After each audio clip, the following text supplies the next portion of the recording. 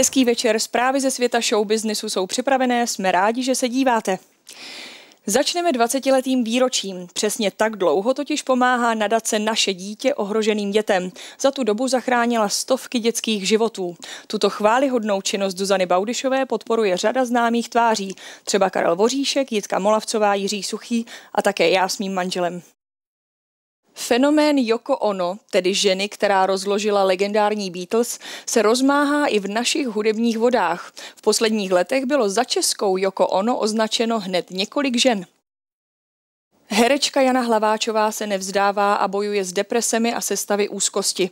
Ambulantně teď navštěvuje psychiatrickou nemocnici v pražských Bohnicích. Více o tom ví reportérka Lenka Špilarová. Lenko, dobrý večer. Jak na tom Jana Hlaváčová je? Herec Tom Hanks přirovnal svou manželku k výhře v loterii. Manželé patří k nejstabilnějším párům v Hollywoodu. Jsou spolu obdivuhodných 25 let. Jejich vztahu nevadí ani dlouhé odloučení kvůli práci. Recept na šťastné manželství ale neprozradili. Co dalšího ve světě showbiznisu stojí za pozornost? Kapela Holky je opět pohromadě. Nikola a Katka už po dvou měsících po porodu pracují. Zastihli jsme je na natáčení nového singlu. A kolega Patrik Buňka musel chtě nechtě přibrat k práci reportéra i roli chůvy.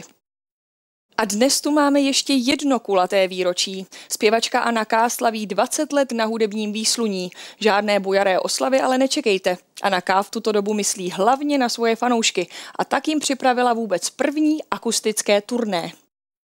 Jana Brejchová dál zůstává v péči lékařů Vinohradské nemocnice. Podle dostupných informací jí postihla srdeční příhoda.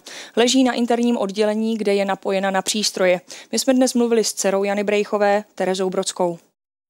Herec Jiří Mádl nezahálí, dotočil svůj první vlastní film a hned se vrhnul do nahrávacího studia, kde s kytaristou skupiny Portles k němu skládá hudbu. Po VIP zprávách se podívejte na vyvolené, čeká vás zúčtování a ve 21.35 začínají křižovatky života. Zítra se na vás opět těším, přeji vám krásný večer s Primou.